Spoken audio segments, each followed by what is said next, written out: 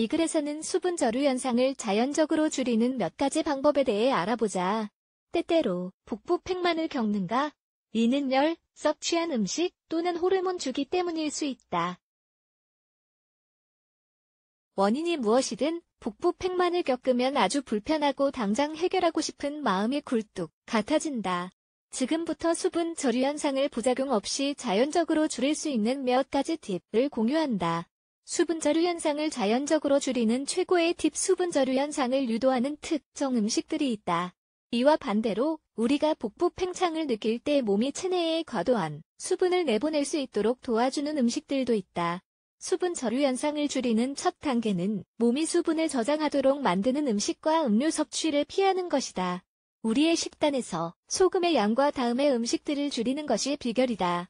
숙성 치즈 luncheon meat, 통조림 햄 과 훈제 햄 통조림 음식과 피클 튀김, 올리브, 소금이 들어간 견과류 피자 등의 냉동 및 인스턴트 식품 소스 1. 적은 나트륨과 많은 칼륨 정제 소금, table salt, 을 당장 식단에서 빼야 한다. 하지만 바다 소금은 적당량 먹어도 된다. 왜냐하면 바, 다 소금에는 칼륨 등의 여러 무기질이 함유되어 있어 몸의 균형을 맞추는 데에 도움이 되기 때문이다. 간단히 말하면 복부 팽만을 느끼는 순간부터는 소금을 피하고 다음과 같이 칼륨이 많이 함유된 음식을 먹어야 한다.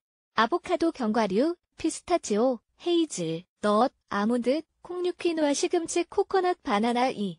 물 마시기 수분 저류 현상 해소를 위해 물을 마시라고 모순적으로 들릴 수 있지만 사실 물을 마시면 체내의 수분을 몸 밖으로 배출할 수 있다. 하지만 한 가지 조건이 있다. 공복에 물을 마셔야 한 다. 음식을 먹는 도중에 또는 직후에 물을 마시면 반대의 효과를 불러와 더 심한 복 부 팽만 상태가 된다. 일어나서 아침을 먹기 전 물 2잔을 마시는 것으로 하루를 시작하자. 아침에 2잔, 자기 전 2잔을 마시면 더 좋다. 3. 배와 민들레 쉐이크. 쉐이크류를 좋아한다면 배와 민들레, 인효 효과가 있는 이 두 재료를 섞어 마시는데 CP를 추천한다. 이 두 재료는 수분 저류 현상은 줄이지만 몸에 무기질을 공급해간 기능을 돕는다.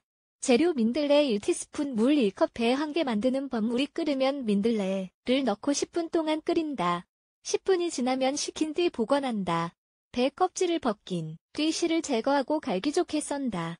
블렌더에 민들레 끓인 물과 배를 넣고 부드러운 제형으로 갈아 마신다. 4. 수박 주스 수박은 높은 수분 함량 덕분에 수분 저류 현상을 줄이기 위한 훌륭한 과일이다. 그뿐만 아니라 수박은 칼로리가 낮고 칼륨과 항산화, 물질이 듬뿍 함유되어 있다.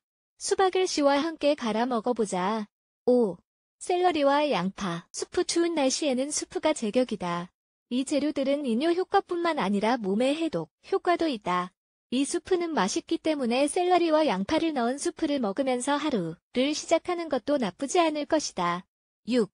쇠뜨기와 녹차 우린 물 2차는 수분저, 류현상을 줄이기 위한 간단한 방법의 하나다.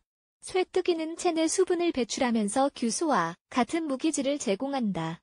이렇게 하면 무기질을 잃지 않고 체내 수분을 많이 배출할 수 있다. 녹차는 필수적인 음료 중 하나인데 인류 성분과 더불어 아주 강력한 항, 산화 물질을 함유하고 있기 때문이다. 이 두 재료를 섞어도 되고 각자 우려서 마셔도 된다. 이 차를 아침에 마시기를 추천한다.